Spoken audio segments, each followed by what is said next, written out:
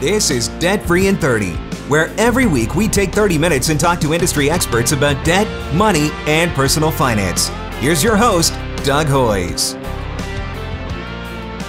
Usually, here on Debt Free in 30, we talk about how to get out of debt and live debt free. So, what happens if you follow the advice we give on this show and you eliminate your debt? Then what? What if I had to do a consumer proposal or bankruptcy to eliminate my debt and now I'm out of debt and I want to get back on track? How do I do that? That's what we're going to talk about today here on Debt Free in 30. How to recover financially after a bankruptcy, consumer proposal, or other major financial event. I want you to take full advantage of your new debt free status. So today we'll cover the practical steps you can take to recover financially after a consumer proposal or bankruptcy and rebuild your credit for the long term. Now, let me start by saying that I don't advise anyone immediately after a consumer proposal or bankruptcy to go right back out and start borrowing again. If you got into trouble because you had access to too much credit, you don't want to go back to having those same problems again. However, in today's modern electronic economy, access to credit is very important to some people. If someday you want to buy a house or finance a car, you need a good credit score. And today we're going to discuss tangible steps you can take to improve your credit score after a consumer proposal or bankruptcy. Perhaps you don't plan to buy a house. Perhaps you drive an older car and when it needs to be replaced, you'll pay cash for an inexpensive vehicle. Maybe you live in the city and don't need a car. That's great. Perhaps you don't plan to borrow any money in the future, but you may still need access to credit. Why? Because there are likely going to be times when you'll need the use of a credit card. Even if you plan to pay cash, it's difficult to book a hotel room if you don't have a credit card. Even something as simple as a service like Netflix often requires a credit card for the monthly payment, although there are other options like using PayPal. You may have cut your cable TV to save money, and that's great, and Netflix or a similar service may be a lot cheaper than cable TV, but if you don't have PayPal or some other way to make your monthly payment, you may need a credit card to set up the service. Perhaps you gave up your car to save money, and now for that occasional long trip you rent a car because it's a lot cheaper than owning a car. Again, that's great, but to rent a car, you often need a credit card. So, how do you get a credit card and start rebuilding credit if you have bad credit? That's what we're going to talk about today, starting right now. I recommend a five step credit rebuilding plan. Step number one set your goals. You may be listening to this and saying, forget about my goals. I want to rebuild my credit, so let's get on with it. I get it, but I think it's very important that you decide why you are trying to rebuild your credit before you actually get started because your goals will determine your next steps. If your goal is to get a credit card so you can book a hotel room, the steps to take are a lot simpler than the steps you need to take if you want to get a mortgage someday. That's why goals are important. Your goal may be something simple like getting a credit card with a small credit limit so you can book a hotel, rent a car, or purchase goods online. Your goal may be larger like financing a car or buying a house. Maybe your financial goals have nothing to do with credit. Perhaps you want to save money so that you can send your children to college. Perhaps you want to save for your own retirement. Savings goals are different than credit goals, so it's important to set your goals so you know what steps you need to take next. So here's my advice. Get a piece of paper or open a document on your computer and write down every possible goal you can think of. Big or small, write them all down. Simple goals, crazy goals, even goals that you may never be able to achieve, write them all down. Goals I would consider would include credit goals like qualifying for a car loan, getting a mortgage, getting a credit card, getting a home renovation loan, getting a student loan to go back to school. Savings goals could include things like saving money for a security deposit for a car, saving money for a down payment for a house, saving money for your child's or grandchild's education, or saving money for retirement. Write down all of your goals and make them as specific as possible. Put dollar amounts with them and time frames. I want to buy a house is a goal, but it's not very specific. Write down, I want to buy a house for $300,000 and I want to save up a $60,000 down payment and I want to buy the house within five years. Well, that's a very specific, measurable goal. Now that you have all of your goals, rank them in order of importance to you. Which one do you want to accomplish first? Which is the most important? Once you're done, you'll have a clearly defined set of goals with amounts and timeframes. For some of you, this will be easy. Your only goal is to buy an inexpensive car so you can start immediately. Other goals may be more difficult and may require some research. For example, you can save for a house or for retirement many different ways, including through a TFSA or an RRSP. Which is better? Well, that depends on your age and some other factors, so some research may be required to fine tune your goals. Once your goals are set, it's time to move on to step number two. Step number two. This may seem obvious, but step number two is to eliminate all unnecessary debt. If you're in a consumer proposal or a bankruptcy, this means completing all of your payments and other duties to complete the process as fast as possible.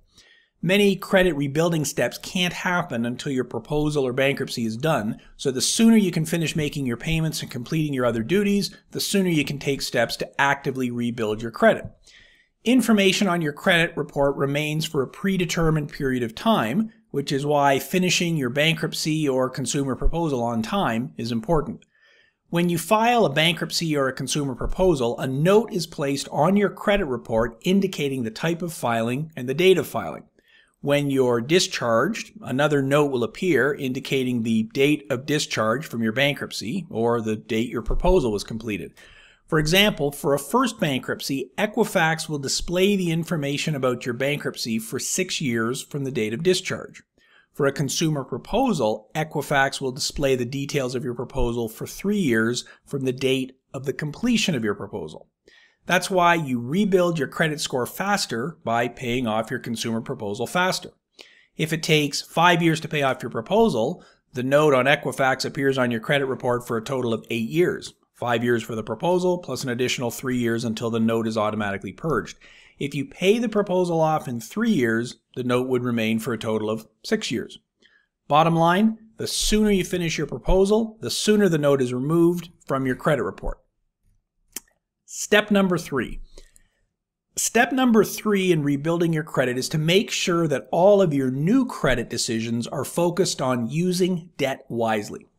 By using debt wisely, I mean making sure that you don't take on any unnecessary debt, only borrow as much as you can repay, don't carry any high interest credit card debt, and avoid expensive options like payday loans. I see a lot of people who run into a cash crunch and they go and get a payday loan or other short term loan to stay afloat. That is almost always a bad idea. Many payday loan lenders don't report to the credit bureau, so you may think, hey, it's no big deal getting a payday loan. While it may not impact your credit report, payday loans have a much more serious impact on your ability to rebuild your credit high interest. Even something as simple as getting a credit card to rebuild your credit can lead to problems if you don't pay it off in full every month. So, how can you avoid falling back into the debt trap? Well, you need a strong savings plan, and that leads us to step number four. The fourth step in rebuilding your credit is to save money. There are actually three reasons why saving money is a good idea. First, banks like to lend money to people who don't need it. If you have money in the bank, the bank is more likely to want to consider you a better risk, so it's easier to get a loan. Second, as you're rebuilding your credit, it's likely that you'll require a higher down payment or security deposit when you borrow. So having savings is a good idea. Third, if you have some emergency savings set aside, you're much less likely to turn once again to really bad credit options like a payday loan, a bank overdraft, or credit card debt. If you want to finance a car, having a $3,000 down payment will make it easier to get a good interest rate on your new loan than if you had only a $500 deposit. The higher the down payment, the less risk to the lender, so the more likely they are to give you the loan at favorable rates. If your goal is to buy a house, a down payment is critical. At a minimum, you need a 5% down payment, but if you have less than perfect credit, and you want the best rate, a 20% or greater down payment is recommended. Currently in Canada, mortgage insurance is required if you have less than a 20% down payment. Mortgage insurance increases the cost of your mortgage. For example, if you only have a 5% down payment, meaning your mortgage is 95% of the value of the home, mortgage insurance through CMHC is a 3.6% premium on the value of the total loan. That's a big number. So if you buy a $300,000 house with only 5% down, that's a $15,000 down payment, you pay a CMHC mortgage insurance premium of 3.6% of the $285,000 mortgage or $10,260. So when you buy the house, you either have to pay an extra $10,260 up front or it gets added to your mortgage. So now your mortgage instead of being 285,000 is $295,260. That's a big difference. In most cases, if you have a 20% down payment, the bank won't charge you a mortgage insurance premium. So by having a decent sized down payment, you save a lot of money. I said that step one was to set your goals, and now you can see why. If your goal is to buy a house, you need to know what the house will cost and how much of a down payment you'll need so that you have a savings goal in mind, which will save you a lot of money and help you borrow at a much cheaper rate. A lot of people ask me, what's the best way to save? The answer is make it easy. It has to be automatic or else you may not do it.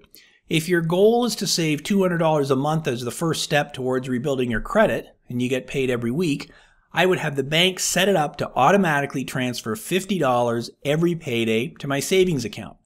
The money would be automatically transferred, so I won't see it, so I'm much less likely to spend it. The next question I get asked is where to put the money in a savings account or a tax free savings account or a registered retirement savings plan or somewhere else. The answer again depends on your goals. If you're saving money to buy a house, either a TFSA or an RRSP may be a good option. The answer will depend on a number of factors, including your tax rate today and what you expect it to be in the future, and how much contribution room you have and when you need the money. The answer is going to be different for everyone. An RRSP is a tax deferral method meaning you get a tax deduction today when you put the money in your RSP, but you pay tax on it when you take it out.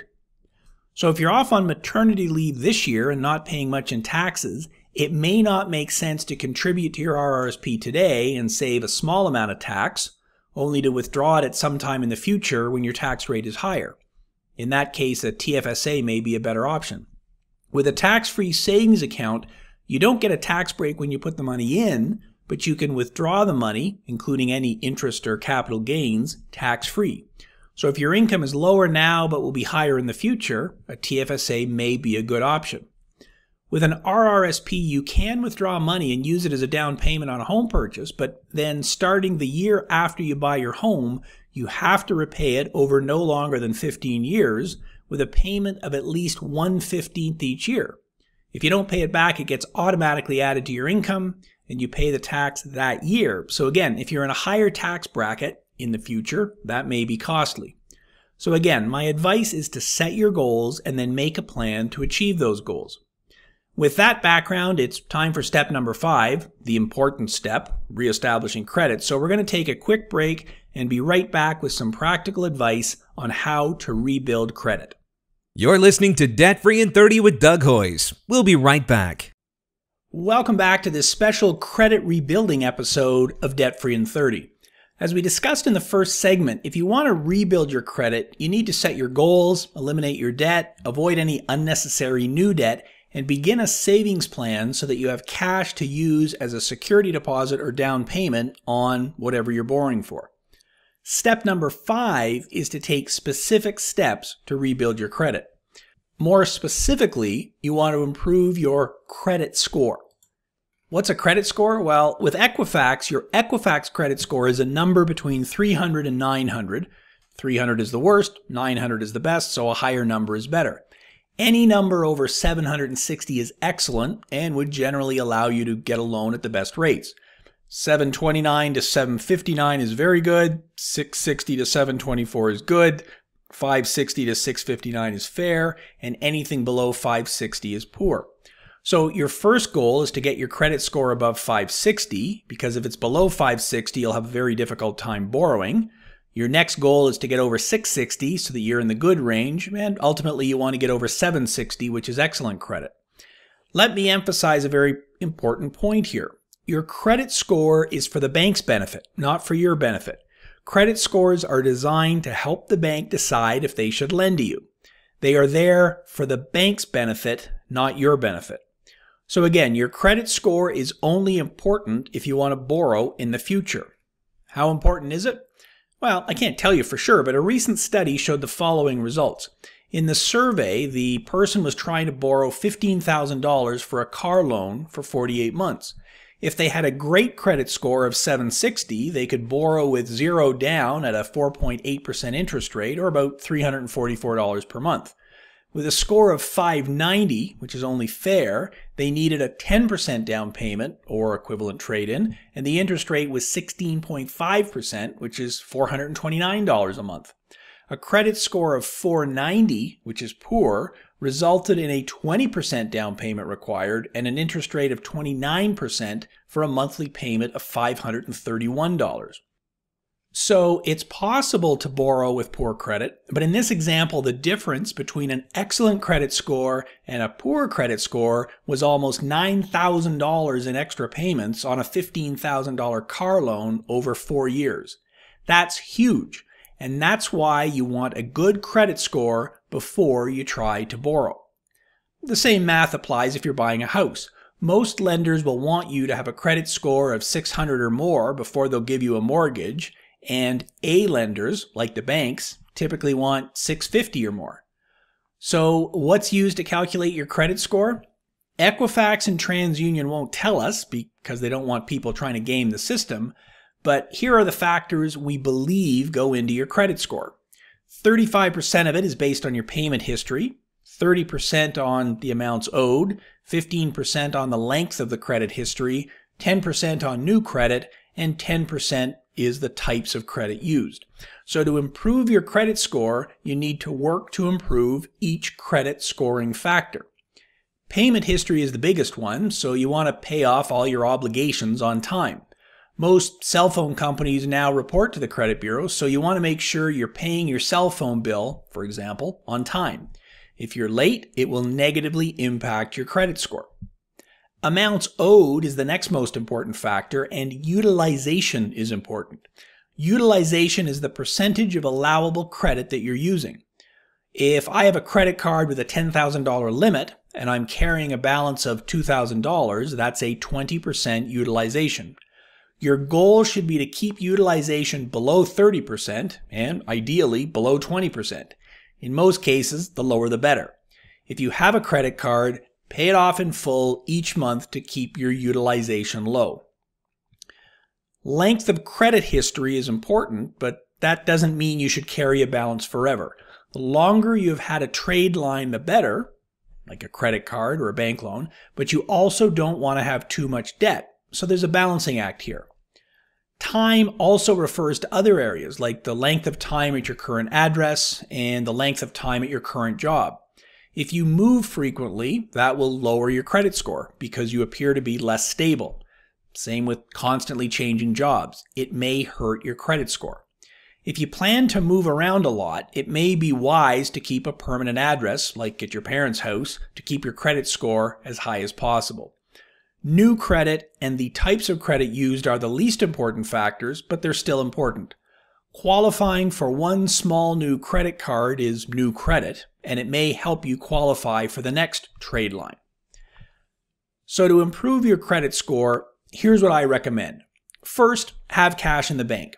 We've already discussed why that's important, but it's very important, so I mention it again. The next step is to establish two trade lines. A trade line is a debt that appears on your credit report. It could be a credit card or bank loan or line of credit. A car loan or an RSP loan would be a trade line as long as the lender reports it to the credit bureau. That's a key point because some debts don't appear on your credit report. If you owe back taxes to Canada Revenue Agency, that's a debt, but CRA doesn't report to the credit bureau, so it's not a trade line and therefore doesn't improve your credit score. A possible next step would be to get a secured credit card. There are a few places that do this, and I'll put links in the show notes over on Hoyes.com to show you how to do it. With a secured credit card, you place funds on deposit with the credit card company, and they give you a credit card. A typical example would be to put down a cash deposit of $1,000 and you get a credit card with a $1,000 credit limit. It works just like a regular credit card, except that your credit limit is only as high as the amount of cash you have on deposit. Secured credit cards generally also charge a monthly fee, so even if you're paying the balance in full each month, there is still a charge for using the card. If you don't pay in full each month, you pay a huge amount in interest, so my advice is always pay your credit card in full each month. A secured credit card reports to the credit bureau just like a regular credit card.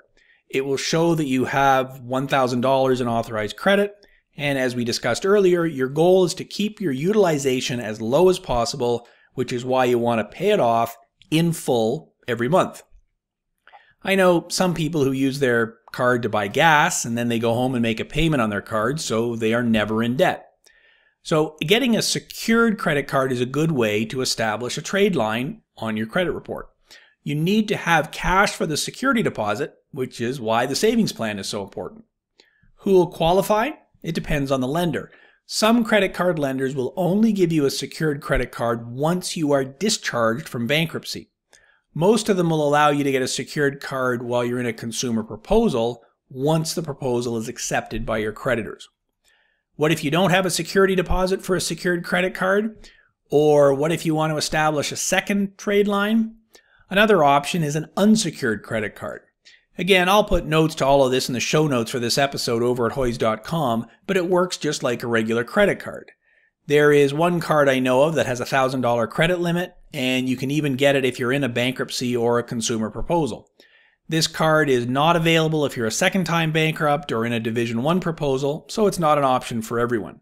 There is a monthly fee, and the interest rate is very high, so again, you would only get this card if you need to rebuild your credit and you're able to afford the monthly fee, which, as I record this, is around $7 a month. Again, the point is to determine your goals, crunch the numbers, and know what you're getting into before applying for credit to start rebuilding your credit. I've got more tips, but first a quick break. You're listening to Debt Free in 30. You're listening to Debt Free in 30. Here's your host, Doug Hoyes. That's our show for today.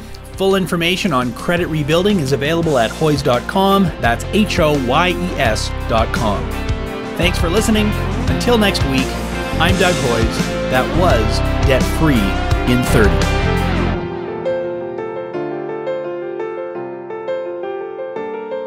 Thanks for listening. That was Debt Free in 30.